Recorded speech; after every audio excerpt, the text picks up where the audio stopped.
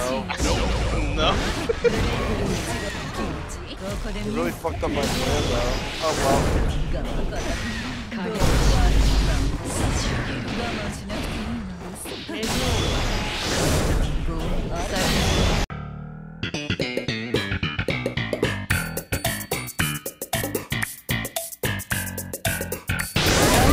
Dude, I feel violated.